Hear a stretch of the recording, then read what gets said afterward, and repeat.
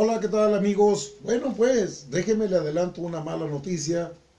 Viene otro gasolinazo y este será más fuerte que los anteriores. Tres pesos más a la gasolina dentro de poco tiempo. Hola Carlos, ¿cómo estás? Muy bien, Albino. ¿Qué- Oye. ¿De qué hablando el día de hoy? Pues fíjate que eh, de buenas fuentes eh, me enteré que viene un aumento más a las gasolinas. No es nada nuevo, ha estado pasando durante los últimos meses.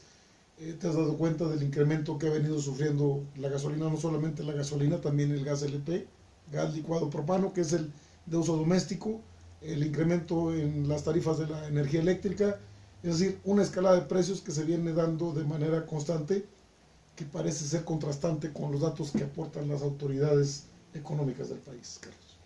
Es de llamar la atención, Albino, que estamos esperando un gasolinazo 2018. Ya se oye dentro del círculo de los dueños de estas gasolinerías, esperando todos los días ellos que les están pasando informes que el día de mañana ya llega un 20% arriba, alrededor de 3 pesos por litro. Así es. Eh, he escuchado constantemente a este, a este grupo agremiado de dueños de gasolinerías que todos los días están con ese nerviosismo de cuándo va a subir porque ellos tienen que cambiar sus precios cinco horas antes de, de, para- de que dan sus precios nuevos. A ver, a ver, a ver, a ver, Carlos. De septiembre para acá tenemos una estadística muy clara. Así es. Ya hay un gasolinazo disfrazado. Claro que sí. De septiembre para acá hemos visto cómo ha aumentado la gasolina a diario entre 3 y 4 centavos. Sí. a lo cual hasta el día de hoy nos da de septiembre a enero 50 centavos de aumento por litro. A ver, nos habían dicho que la fluctuación de la gasolina con el, a- el precio abierto a, a- a los precios del petróleo iba a bajar y a subir. Así es que iba a fluctuar con los, con los La precios normal. internacionales del petróleo y vemos que esto nada más sucede en las fronteras. Ah, ok, en las Nada fronteras más. el precio es más bajo. Así Está de acuerdo a lo que está en Estados Unidos. Así es. Allá la gasolina es más, más barata. Increíble, nosotros somos los productores de petróleo. Ten- tenemos mucho petróleo. No lo refinamos, no lo trabajamos y nos lo venden bastante caro. Con la, con la reforma energética nos regalaron esa idea de que ahora íbamos a estar este, eh, viendo cómo estaban los precios del petróleo internacionalmente y que iba a subir y bajar.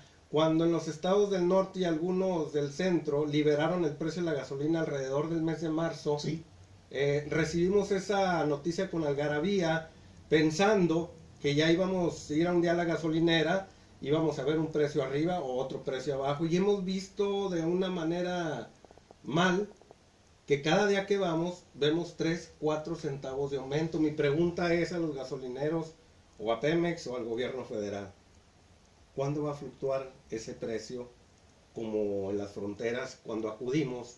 Si vemos un precio similar al estado de Texas, por ejemplo.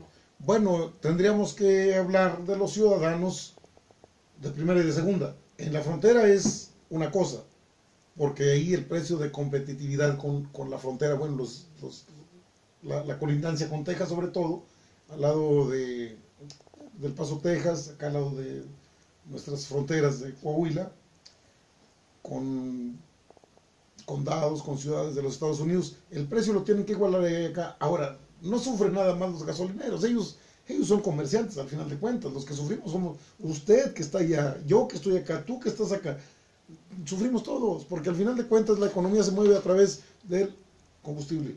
Subió el gas, el cilindro de gas ese que usted gasta, ese que consume, ya aumentó, detonó. La pregunta del pueblo marginado que se hace y lo que el gobierno les hace hacer este tipo de preguntas.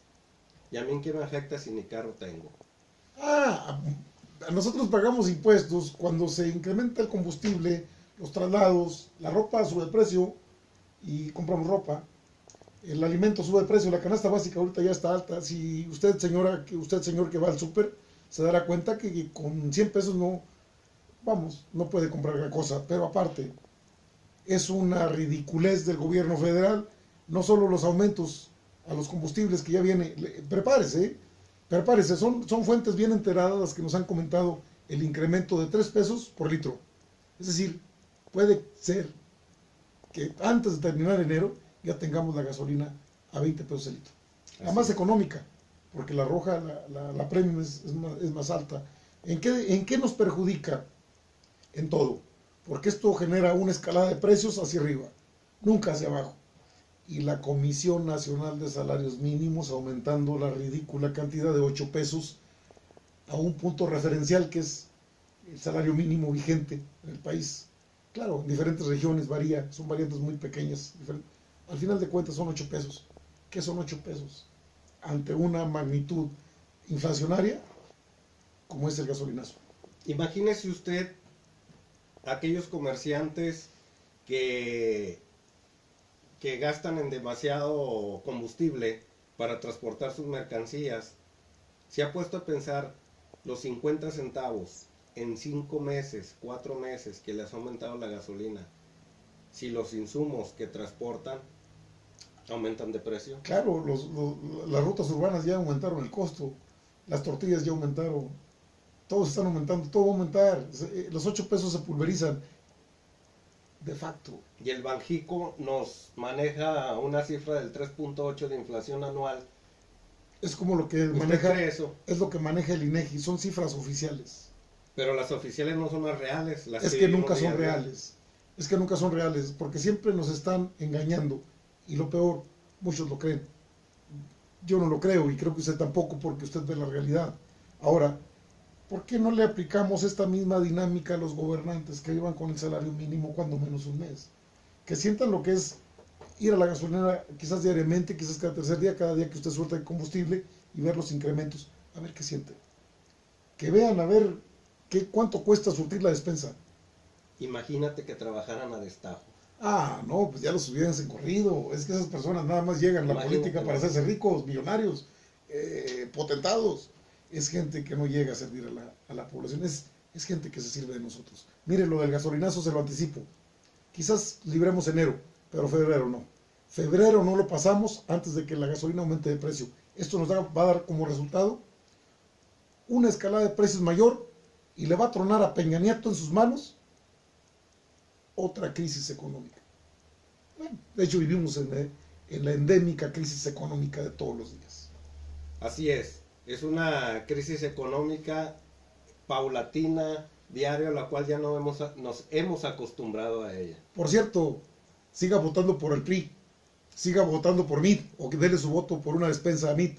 Ellos son los que han generado esta carrera inflacionaria que no hemos podido tener y que no vamos a detener porque están intereses de por medio muy fuertes entre ellos del país, de los políticos y de la gente que se ha llenado los bolsillos de dinero a costillas nuestras.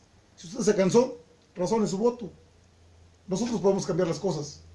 Nosotros podemos cambiar las cosas si es que nos deja el INE, que son verdaderos pillos para maquillar cifras electorales.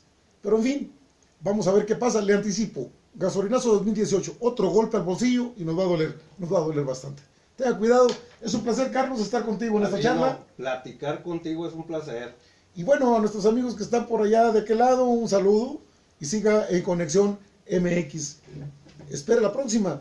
Nosotros estamos aquí. Nosotros estamos con usted.